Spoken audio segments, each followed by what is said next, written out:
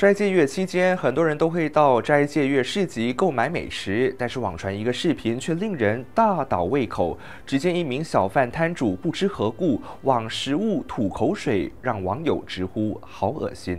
根据警方的初步调查，这起事件是于本月十九号在纳敏斋戒月市集发生。画面可见，摊主在搅拌印度馅料煎饼食材的过程中，做出了疑似吐口水的动作。不过，摊主已经做出否认，并指他只是在检查食材内有没有蛋壳。对此，纳敏卫生局正收集事件的相关情报。纳敏景区主任阿莫贾威拉则发文告说，警方至今已经接获三宗相关投报，目前将援引通讯及多媒体法令展开调查。另一方面，社交媒体流传的视频可见，一名网友日前在一家妈妈档用餐时，突然听见隔壁桌传来一阵骚动。画面显示，一群乌裔青年共点了四份炸鸡椰浆饭，其中两份椰浆饭的炸鸡竟然爬满蛆虫。据了解，其中一人差不多吃完时才发现炸鸡内有虫，不禁发出惊叫。炸鸡内的蛆虫极多，而且体型肥大，还不停在蠕动，